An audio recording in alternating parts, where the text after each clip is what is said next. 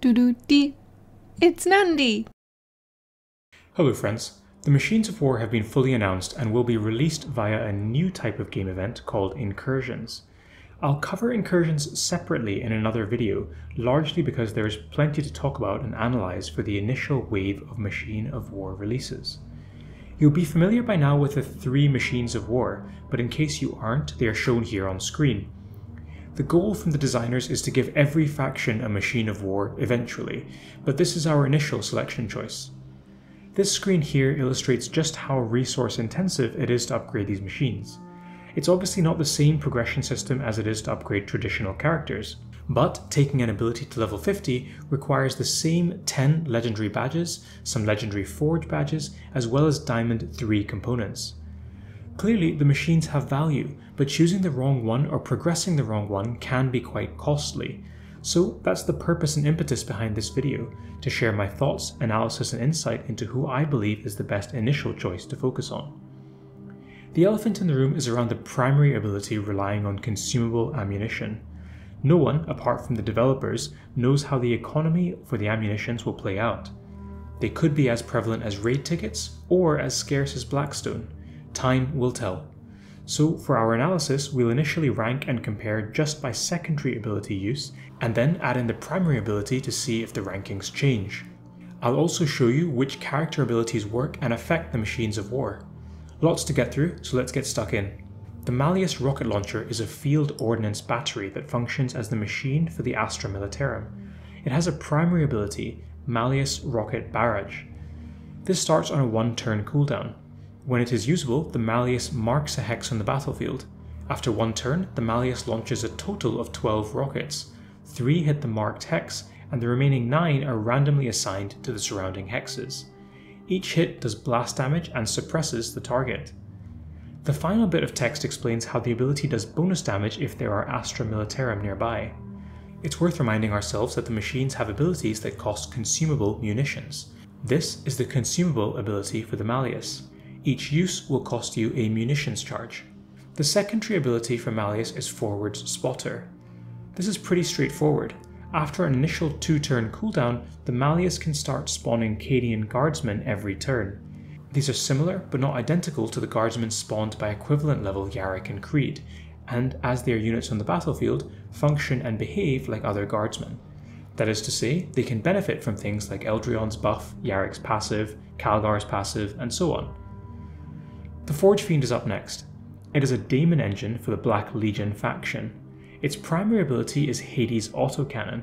This deals flame damage to target enemy summon and all enemy summons within 2 hexes of that initial target. It also has a chance to add critical hit damage, and there is no initial cooldown for this ability. The secondary ability is Demonic Ordnance. This applies the fire hex effect to a target hex which has an enemy on it, as well as the two hexes behind it, forming a sort of triangle shape. If the hex is already on fire, then it deals plasma damage to the affected hexes as well. Repeated uses of this secondary ability increase the critical hit chance of the Forgefiend, allowing it to critical hit 3 times per battle. It's also worth noting that this secondary ability starts on cooldown for one round. The Biovore is a living artillery organism for the Tyranid faction. Its primary ability is Biominefield. The majority of the time this is going to spawn 3 spore mines in the battlefield in hexes adjacent to an enemy on the map. If there are already 3 spore mines in the battlefield, they then move towards the target. Spore mines are a new unit in the game. They are summoned units with the instinctive behavior trait and flying. They normally have a movement speed of 1, however if they are within synapse range then this increases to a movement speed of 2. Their key ability is Floating Death. This is what gives the unit the feel of an explosive mine. When the Spore Mine attacks or is defeated, then it deals toxic damage to all adjacent enemies. The mine does not explode when overkilled. The primary ability starts on a one turn cooldown. The Biovore's secondary ability is more straightforward and simply adds a single spore mine to the battlefield with each use, under the caveat that this hex is not adjacent to an enemy. Before we can compare them, we need to understand what abilities work and don't work with the Machines of War. By that I mean we need to understand if the damage they do is buffed by character passives. In this first clip, the Malleus active does not gain any bonus damage from Eldryon's passive, As it stands off the map, it is similarly unable to be buffed by Aethana's passive aura. We can apply the same logic and say that passives like Calgar, Darkstrider, Shadowsun, and the Ilk, which apply on adjacency basis, have no effect on the machines of war. What about other, more conditional and new instabilities? Here we can see that Roswitha's active ability does indeed increase the damage dealt by the Malleus battery, likely because it is a damage modifier rather than adding to the Damvar calculation. We've been told that the machines of war are usable in guild raids, guild war, some modes in tournament arena, as well as traditional arena. For guild war, they'll only be able to be used once on offense and once on defense. For Tournament Arena, this is an event that rolls around once every couple of weeks and isn't to everyone's tastes or fancy. Arena is an evergreen mode, but I would argue this is relatively straightforward. You simply let the enemy walk to you so that you get the first turn of combat action, and you almost always win. So, while there are definitely some PvP elements to consider, it probably makes more sense to assess how the machines will function in guild raids in the first instance. For the purposes of math and analysis, let's look at how each machine of war fares against Legendary 5 guild raid bosses. As a quick nod to the disgruntled, I understand that no one will have their machines of war maxed out, but I've chosen level 50 skills and Legendary 5 bosses just to standardize the analysis. On this slide, a quick reminder of Damvar and how damage is calculated. For the Malleus, the secondary ability spawns Guardsman. At level 50, the Guardsman does 2394 damage, has 2 hits, and has a Las attack, which does 10% pierce.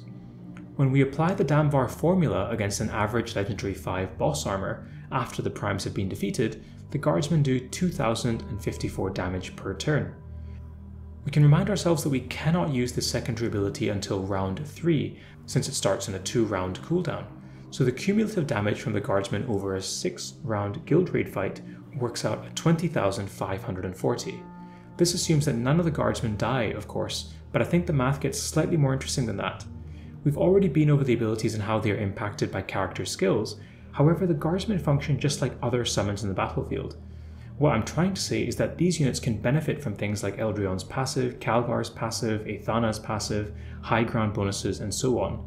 Just by applying Eldryon's passive bonus, the damage potential from each guardsman basically doubles. We can do the same exercise for the Forgefiend and the Biovore, and this is what the numbers look like. A quick note on some conditional things. The Forgefiend requires flame damage, so let's assume for this analysis that it is paired with a Psyker team, who has Ahriman or Abraxas to set hexes on fire. For this math, I've also assumed that the Forgefiend has done the 3 critical hits that it can do per battle. The Biovore can't deal any damage on turn 1 due to the fact that the mines cannot attack and explode straight away, so the numbers here are totaled for rounds 2 to 5. We can see at first glance that the Forgefiend comes out on top, followed by the Biovore and then the Malleus's Guardsman. However, let's recall that both the Guardsman and the Spore Mines are summons, therefore gain bonuses from things like Eldryon's passive. Once we add Eldryon's passive into the mix, the Malleus's Guardsmen are miles better than the other two machines of war when we look at just the secondary abilities. So, if we're looking for the most impactful machine in guild raids simply on the basis of secondary abilities, then you'll want to take the Malleus. Let's add another layer to the equation and look at the contentious primary abilities. This will require consumable munitions, but we don't know the economy on this at the moment. Really, here it is a comparison between the Malleus and the Biovore, as the Forgefiend's primary ability does not damage non-summoned units. The Malleus's damage for its primary ability is capped out at 3 hits. For this comparison, we have used the primary ability every single turn that we are able to. We've also used the Malleus alongside Astra Militarum units, which allow it to get a bit of extra damage. We can see here how the Biovore comes out on top, slightly, but both of these comparisons require the machines of war to use their active every single turn, which can consume several munitions per guild raid ticket.